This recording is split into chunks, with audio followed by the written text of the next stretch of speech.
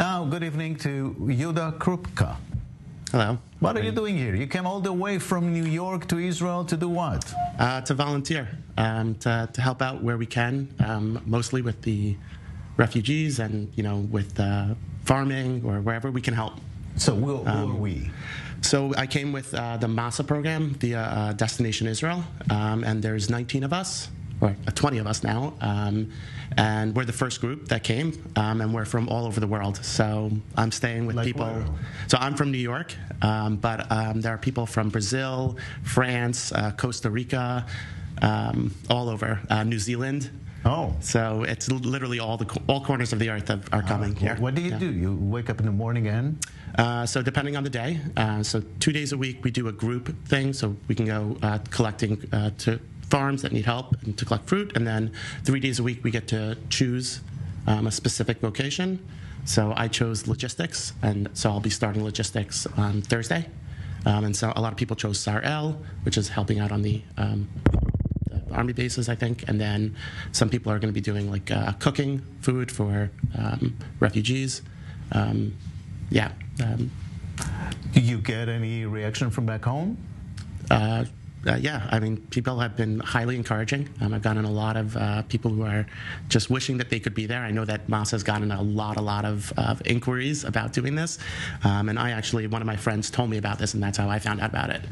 Um, and so I think mostly people are just really, really um, jealous that of the chance to, to be able to come here and help. Requests of people want to come. People want to come, yeah, Yeah.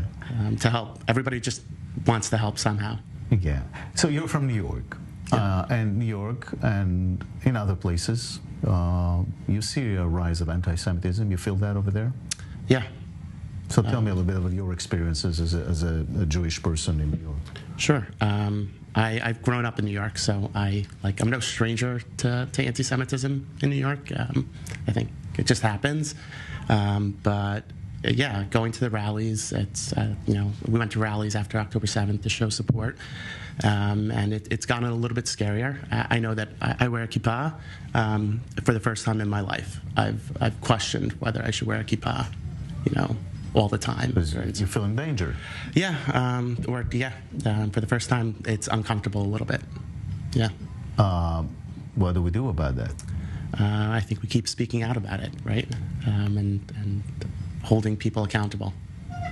Um, yeah, Are and you active on social media and stuff like that? um, as much as like uh, you know, uh, some I post on social media. I, I follow some people. Um, and, From here as well, from Israel? uh, yeah, some people from Israel. Um, And you got any reaction, any anything uh, for what? on social media? and so to to me coming here? Yes. Um, so i have i actually like met there are so many different people from different walks of life who have been so encouraging. So um, i actually with um, with Masa, um, we, we went, um, a, a bunch of us went to the, the hostage uh, square, um, and they were explaining to us about the yellow ribbons and how yellow ribbons are a show of support for, for those who were taken.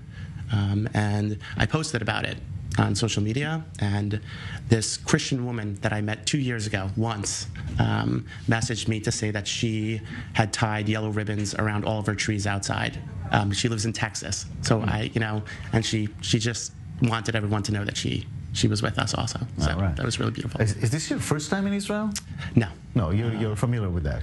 I've come a couple times. These circumstances. Uh, no, I've never been here um, during During the war. So, No. Yeah. Uh, sirens? Did you Uh, yeah, a couple of sirens. Yeah. Looks, looks, how does it look to you? Um, us, it's normal. Uh, you know, we get used to it pretty normally. Uh, we were sitting outside yesterday, and um, we heard a loud bang. Um, and we were sitting with um, someone from the Miluim, and she said, "Oh, it's it's fine. It it went into the water. That's why they like the sirens didn't even ring." And everybody's like, oh, "Okay, that's that's normal, I guess." um, but then we laughed about it because it's not normal. Um, but I guess you know people get used to it. So your family back home is getting crazy?